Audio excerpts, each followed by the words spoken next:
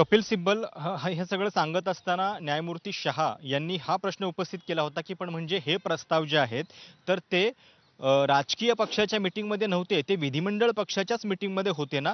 तर त्याच्यावरती कपिल सिब्बल यांनी सांगितलेलं आहे की हो ते म्हणजे राजकीय पक्षाची मीटिंग नव्हती ती विधिमंडळ पक्षाचीच मीटिंग होती आणि अशाच पद्धतीने विधिमंडळ पक्षाच्या मीटिंगमध्येच हा नेता जो आहे तो निवडला जातो आणि त्यामुळं न्यायमूर्ती शहा यांचा पुढचा प्रश्न हा पण होता की म्हणजे तुमच्या मते लेजिस्लेटिव्ह पार्टीचा म्हणजे विधिमंडळ पक्षाचा हा जो जो निर्णय असेल तर तो कायम राजकीय पक्षाच्या सल्ल्यानं होत असतो की नाही? तर हाच स- सर्व पक्षांमधला साधारणपणे नॉर्म आहे अशाच पद्धतीनं सगळ्या नियुक्त्या होत असतात हे कपिल सिब्बल यांनी त्यांना त्याच्यावरती सांगितलेलं आहे. म्हणजे मुळात याच्यामध्ये कायम विधिमंडळ पक्ष आणि राजकीय पक्ष हा प्रश्न उपस्थित हो, होत राहणार हो. आहे. विधिमंडळ पक्ष म्हणजे केवळ आमदार खासदार पण आता कपिल सिब्बल यांचं ठाकरे गटाच्या वतीनं काल युक्तिवाद हाच होता की केवळ विधिमंडळ पक्षामध्ये बहुमत आहे म्हणून तुम्ही तुमचा सर्व राजकीय पक्ष हा तुमच्या मालकीचा झाला असं म्हणू शकत नाही. आणि त्या अनुषंगानं जेव्हा व्हीपच्या संदर्भातले हे ते मुद्दे मांडत होते तेव्हा न्यायमूर्ती शहांनी त्यांना प्रतिप्रश्न केला. विधिमंडळातला जो पक्ष असतो तो अर्थातच ओव्हरऑल पक्षाच्या सगळ्या लोकांचं प्रतिनिधित्व करत असतो. ते निवडून गेलेले त्या त्या पक्षाचे उमेदवार असतात लोकप्रतिनिधी असतात. त्यामुळे विधिमंडळ पक्षाच्या बैठकीत ठरलेले निर्णय किंवा झालेले निर्णय आणि पक्षाच्या बैठकीमध्ये झालेले निर्णय यामध्ये थोडीशी वेगळेपणा कसा असतो हे सुद्धा या युक्तिवादातनं आपल्याला समजतं. विधिमंडळ पक्षाचा निर्णय नेहमी पक्षाच्या सल्ल्यावरतीच घेतला जातो का किंवा तो घेतला गेलेला आहे का? कारण शिवसेनेच्या बाबतीत ही गोष्ट महत्वाची आहे. ती म्हणजे गटनेता निवडीची. एकनाथ शिंदेंना तिथून हटवण्यात आलं आणि अजय चौधरींना गटनेता म्हणून नियुक्त करण्यात आलं.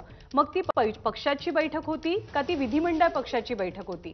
तर अर्थात पक्षाच्या बैठकीमध्ये नेता बदलला जाऊ शकत नाही कारण विधिमंडळ पक्षाचे जे सदस्य असतात त्यांनी या नव्या नेत्याच्या नावाला मंजुरी देणं त्याला स्वीकारणं. हे अधिक महत्वाचं असतं. त्यामुळे कायद्याच्या चौकटीत एखाद्या पक्षाच्या घटनेनुसार विचार करता विधिमंडळाच्या बैठकीमध्येच नेत्यांच्या बैठकीमध्ये नव्या नेत्याची निवड केली जाते. जी आम्ही अजय चौधरींची केली ती पक्षाची बैठक नव्हती तर ती विधिमंडळ पक्षाची बैठक होती हे कपिल सिब्बल यांनी जस्टिस शहांना सांगण्याचा आपल्या युक्तिवादातनं प्रयत्न केलाय. आज सकाळपासूनचा त्यांचा युक्तिवाद हा दोन ते तीन मुद्द्यांवरती प्रामुख्यानं अवलंबून आहे. त्यांनी हे स्पष्ट केलं की जेव्हा शिवसेनेच्या कार्यकारिणीची दोन हजार अठरा साली बैठक झाली होती तेव्हा कोणते निर्णय घेण्यात आले तेव्हा काय झालेलं होतं सर्वांच्या अनुमतीनं उद्धव ठाकरे यांची पुनर्नियुक्ती पक्षाध्यक्ष पदावरती करण्यात आली.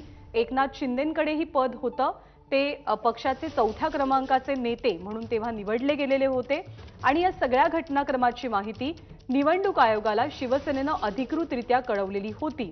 पण निवडणूक आयोगानं जेव्हा चिन्ह आणि नावाचा निर्णय दिला तेव्हा शिवसेनेच्या घटनेचा उल्लेख केला नाही किंवा शिवसेनेच्या घटनेनुसार पुढच्या गोष्टी या निवडणूक आयोगानं राबवल्या नाही तसं एक प्रकारे युक्तिवादातनं म्हणणं मांडण्याचा प्रयत्न कपिल सिब्बल यांनी केलेला होता. दहाव्या सूचीबाबतचा आपला युक्तिवाद पूर्ण झाल्याचंही त्यांनी स्पष्ट केलं. दोन हजार एकोणीस साली जेव्हा निवडणुका पार पडलेल्या होत्या सरकार काही स्थापन झालेलं नव्हतं बातचीत सुरू होती. त्यावेळचा हा सगळा काळ आहे. उद्धव ठाकरेंनी शिवसेना भवनात पक्षाच्या छप्पन्न आमदारांची एक बैठक घेतली आणि याच बैठकीत सर्व आमदारांनी आपले अधिकार हे उद्धव ठाकरेंकडे दिले आणि उद्धव ठाकरेंचा निर्णय अंतिम असेल हे या बैठकीत मान्य करण्यात आलं.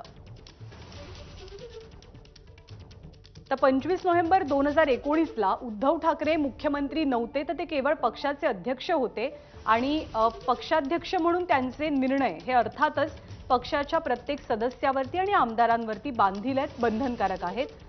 छप्पन्न आमदारांनी एकत्रित येण्याचा निर्णय घेतला आणि उद्धव ठाकरेंकडे सर्वाधिकार असतील असं त्यावेळेला शिवसेना भवनात झालेल्या बैठकीत निश्चित झालं होतं.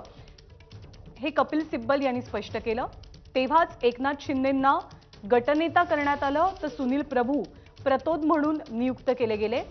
दोन हजार अठरा सालचं शिवसेनेचं राष्ट्रीय कार्यकारिणीचं एक पत्र होतं की ज्यामध्ये अर्थात उद्धव ठाकरेंची नियुक्ती त्यांच्याकडे असलेले अधिकार आणि इतर सदस्यांची नियुक्ती याचा उल्लेख होता. तर सरन्यायाधीश धनंजय चंद्रचूड यांनी मराठीतनं हे सगळं पत्र सुप्रीम कोर्टात वाचून दाखवलं. एकवीस जून दोन हजार बावीस या तारखेचा उल्लेख सुद्धा इथे महत्त्वाचा ठरतोय. कारण याच दिवशी शिवसेनेतलं बंड समोर आलेलं होतं. उरलेल्या सर्व आमदारांची बैठक उद्धव ठाकरेंनी वर्षा निवासस्थानी बोलवलेली होती आणि या बैठकीत गटनेते पदावरनं एकनाथ शिंदेनं काढून टाकण्यात आलं. अजय चौधरींची नियुक्ती इथे करण्यात आली या पदावरती. एकनाथ शिंदेबाबतचा निर्णय सुनील प्रभूंच्या माध्यमातून त्यांना कळवला गेलेला होता असं कपिल सिब्बल यांनी सांगितलं. तर कपिल सिब्बल यांचा युक्तिवाद सुरू आहे. यानंतर अर्थातच शिवसेनेचा युक्तिवाद होणं